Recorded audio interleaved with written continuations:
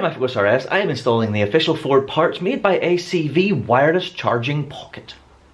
Alright, this is it then, and this is what you get in the box. You get the actual unit itself, which is of course a complete replacement for that little cubby hole area that has the USB port. As you can see, we do retain the USB port, and then you have this new area in which to place a phone and charge it wirelessly, a little LED indicator, and then a cable to power it. Very, very simple. It's going to essentially splice off one of the connections for power that's already in there. So yes, that is it. Very, very simple. Um, we just need to dismantle the dash, get out the old part, slot the new part in, and then it will look absolutely OEM. And that, of course, is the whole point. It is an actual Ford part. Ford officially get these supplied by a company called ACV, uh, if you can see there. Um, yeah, so once it's installed, it's going to look absolutely stock and factory, but we're going to have this awesome added, really handy functionality. In terms of where I got it, you can get it directly from Ford Parts, or um, you can do like I did. I got it from Rates Ford. Um, they provide a very, very good service. I've got a whole bunch of stuff from Rates Ford. I highly recommend them. So without further ado, let's jump into the car and start the installation. Alright then, in the car, as you can see, this of course is the space that we are going to be replacing, this whole little area, this whole little unit, and then we're going to obviously have less space for storing random stuff, but we're still going to have some, and of course we're going to have the charger, our phone will just slot in here. So in order to get this out, this is attached um, to this wider center console unit, um, so we do need to dismantle a few things in order to get in around the back, disconnect, and then we'll get that out. So first things first, first we need to remove some of this trim. This first bit of trim that goes like right around the edge ends up over here. Um, there are clips all the way around it, so I'm going to start on this top right edge. Just going to use plastic trim tools, no metal trim tools because we don't want to damage our plastics. So we should just be able to wiggle this in. If you have a couple of different tools, it can be handy.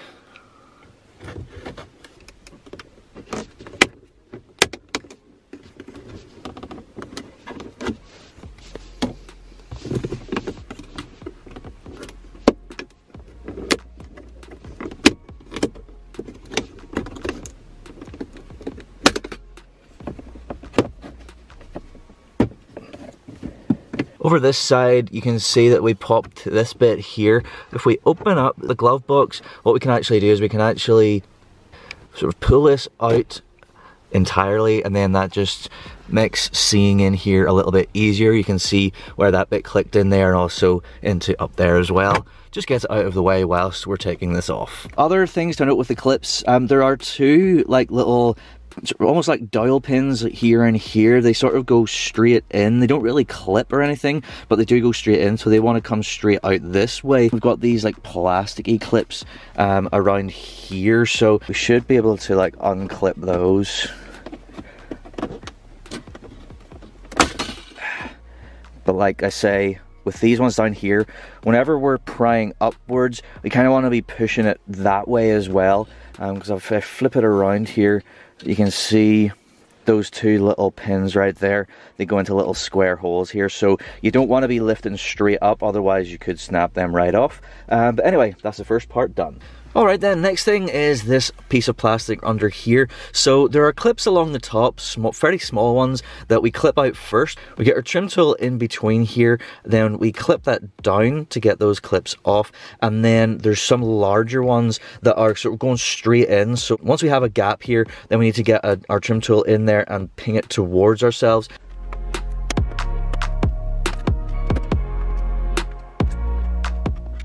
So I'm going in with this almost hooky type one, getting it in the gap and pinging it towards myself.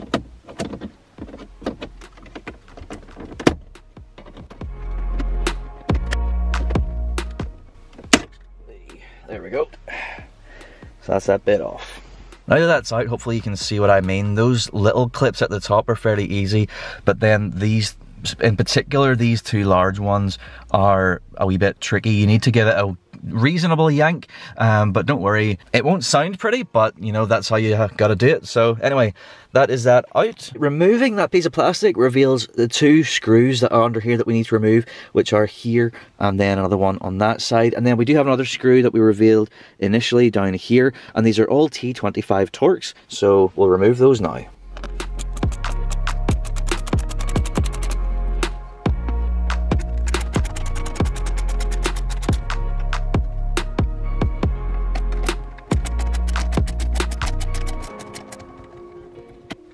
At this point then I might as well take the shifter off. So I'm obviously running the aftermarket, so I've got a couple of extra steps to do, but essentially it's the same thing as stock, which is just get a good grip and screw it anti-clockwise and it will come off.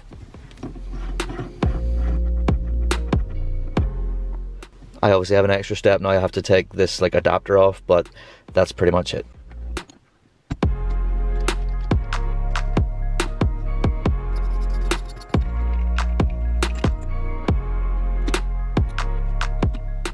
Now we can get this whole bit removed. So the first stage of that is to click it out of its little clips. Now we want to sort of pry it up and then outwards. So starting down here at the front of it, get a grip, you see it's coming up. And then just work our way along. Oh, yeah, so that's one side. Let's give it a wiggle and you can see we are now fully loosened. So at this point, we can't just yank it away because there are several electrical connections. We have electrical connections for the 12 volt, the buttons here, and then we have our USB. We've got then, I think, I believe there's three different plugs around the back here. Um, now these are kind of hard to show you, um, certainly the ones around here, uh, but essentially they're mostly the same. Uh, there's two large ones just right behind here and here. Um, they're two different colors, uh, just plastic tabs, push a little plastic tab and wiggle them out, they'll come out. Um, though there's a smaller one that's sort of behind around sort of here. Similarly, these, there's basically always a plastic tab that you have to manipulate and then they should just wiggle out. I mean, it is, like I was saying, it is kind of hard to show you, but I'll try. You can see there's that, there's the blue one anyway. So, I mean, this is kind of the thing you need two hands for. Uh, but you can hopefully see little plastic tab there so I'm just going to push that and then wiggle it out. That one there is the one that I was talking about, S slightly different shape. The wee plastic tab is just right at the back there so you just got to push that down and then that will loosen and then it just pings right off. And then we do need to get our USB out of its little socket. Now that I've got that out, you can see right on top there's like a little tooth, and that little tooth just clicks into that little square bit at the top. So if you kind of push it downwards, then out it should come out. It is a bit tight, but of course it's meant to be a bit tight so that it stays in there, obviously. Okay, switching seats then, I can get at this electrical connection, which is for our buttons. So very simple, another little plastic tab, we just push that in and then that should come out. Yep, very simple. So lifting this up and around, you can see our 12 volt. That sort of triangular looking grey bit is what we need to push down because you can see the little tooth that's in here holding it into the yellow housingy bit. Hey, there we go. So, given that a swift yank, we can then remove this entire assembly you can see we have our shifter in there, all those electrical connections. You could probably do this with like leaving this kind of in and just loose and just work around the back. Uh, but it's probably easier at this point now um, to just entirely remove it because then we do have some clips and some more screws in around the back there that we do need to remove and also just it's easier for me to show you it with it out of the car so I'm going to bounce into the garage and do this and get that switched over. Okay, in the garage, I've got it like upside down, um, just to show you more T25 Torx screws. So there's one here, and then one around here on the other side. So let's remove those now.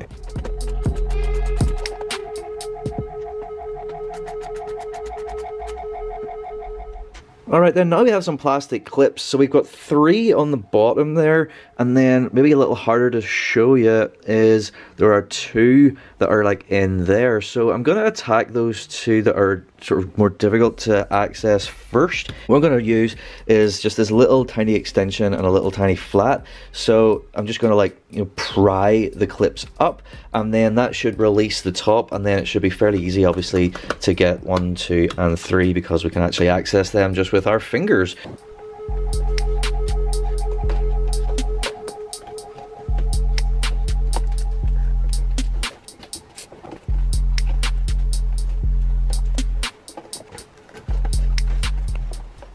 Hey, there we go.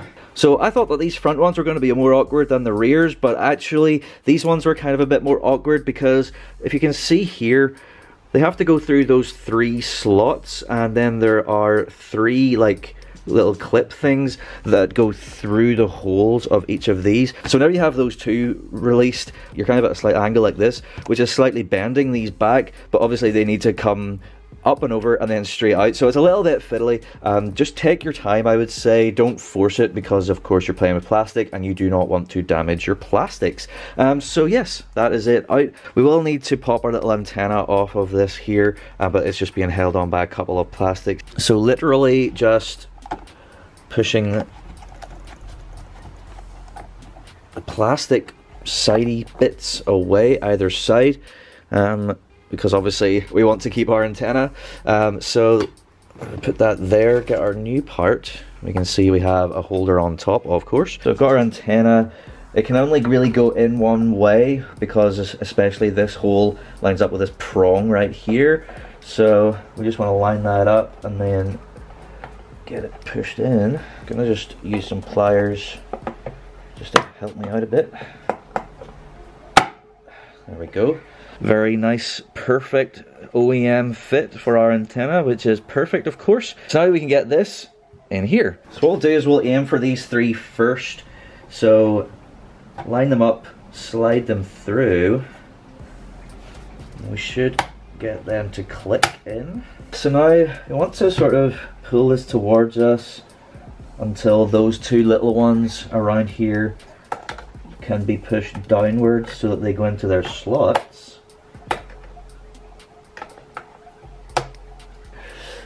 And then push down to click into place. So whenever they're located then we can get our little T25 Torx screws back in.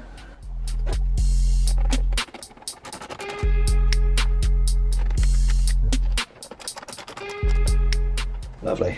If I flip it round, as you can see, we are now installed, looking very OEM as expected. Happy days. So now we can move this back out to the car. Okay, back in the car then, we have our wiring harness first before we get the actual center console back together. We're going to be using the 12 volt supply, this grey connector, and that's going to connect into this female connector here. Then we'll have a replacement connector for the actual 12 volt here, and then we have the little one, which is going to power our new wireless charger. So it can only really go in one way. Might be a bit stiff, so we need to push the little tab down. Oh, there we go. Once you get it in, it will click. It's like I say, it's pretty tight, uh, but that's a good thing. And that means that it is nice and securely in there. So at this point, we do have this whole like bit of wire here. Um, so we don't obviously want to just have it dangling, um, but we do then need this part to be kind of around, maybe around here approximately. Uh, but we then need this part um, to be around here approximately. So what I'm going to do is I'm going to route the wire in behind here. So the most direct place to route this, I think, is going to be underneath, just directly behind. So yeah, you can reach through and just pull that through here. So yeah, with that under there, I mean, that kind of naturally pulls the grey, the original grey connector, like downward anyway which sort of leaves our new connector for our 12 volt in the exact right place but we do have a lot of slack uh, for this. So what I think we should do is I think we should fold it up again a bit and then use a cable tie to you know, we don't really need any more than that right there, you know, so. Alright, cool. So down in there you can see our original 12 volt connected to the harness. We have our new 12 volt here where it needs to be. Then routed in around the back, we have the slack of our new wiring harness and this little one, the power connector for our wireless charger. So everything is now ready in place and we can now get our center console back together. Alright, well the first thing to do with this, I would say, is probably our shifter area. So it has a little notch in the plastic bit underneath which lines up with a bit of metal right here. So you just want to take that down straight over that. And it should pop down like that. You need to get it all the way down so you can see all of the threads there. Um, so that's that in place. It should be free moving once you do so. Um, so now we can start connecting up our electrical connections. So we've got our 12 volt. Right, so flipping it around, you can see it's around this side where we have to connect our little wiring harness jobby here. There is a little plastic tab on one side and that has to be lining up with a little tab right here. So we'll just do that now. And then it's pretty much just uh, reconnecting everything as it was before. So there we go, I've got it connected in there and you'll be able to see as soon as I connected it in there we got our red light come on which is awesome. The red light is our standby light so we're getting power and that is great. Um, so yes, now just going to connect everything back in exactly the way that we removed it. It's just pushing it in, clicking it in, making sure everything is in line and then we can get this clicked back into place and that will be it done.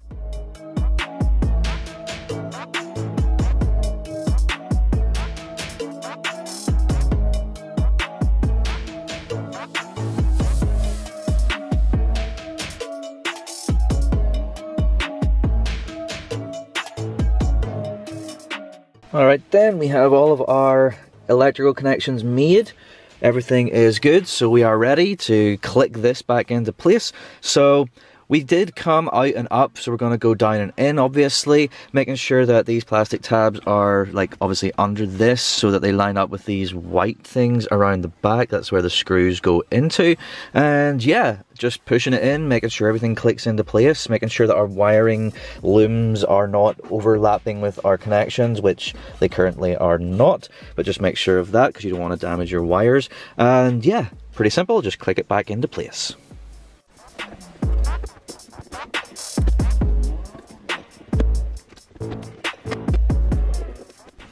Go.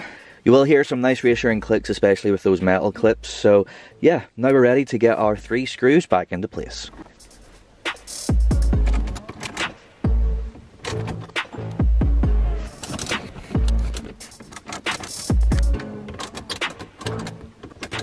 Okay, now we can get our sort of decorative plastics back in. So we'll start with this bit for under here. Um, so we're going to locate these big ones and then click in the little ones at the top.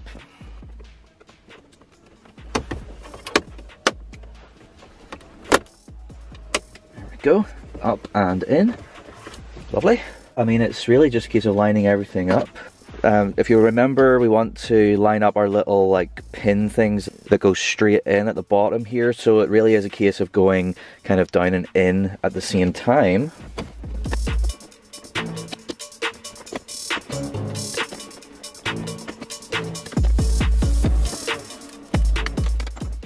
Okay, and then of course we can't forget about our little bit that goes in at the side of our glove box. So, so now we can do our shifter. So our little springy thing goes on top. And then at this point most shifters just screw on, but I of course have my adapter set, so I have to go this part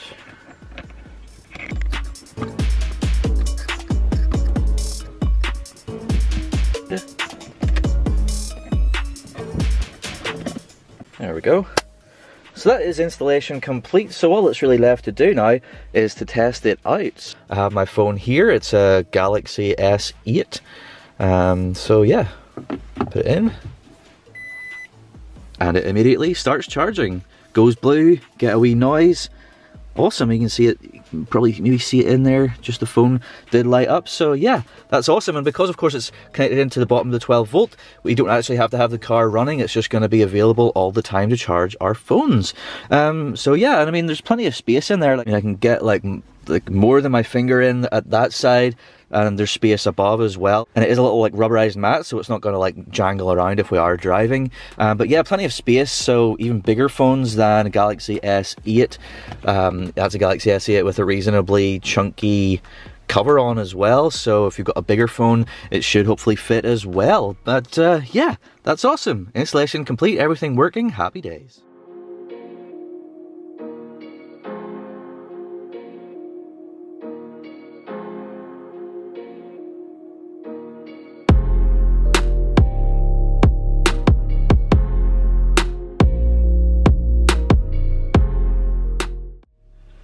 go then, that is the installation finished of our new charging pocket from Ford Parts, from Rates Ford, made by ACV, and the look is absolutely excellent, OEM look, it looks like it's meant to be there, which of course I guess it kind of is. Um, it relocates the USB port down a bit, so you're not you're not losing out on the space there. Um, so yeah, it just fits real nice, it works perfectly as you can see, and I'm very very happy with it, and I hope you like it too, and I hope you enjoyed this video. Thank you so much for watching, please do like, share, and subscribe for more content to come very, very soon. Thank you once again. Goodbye.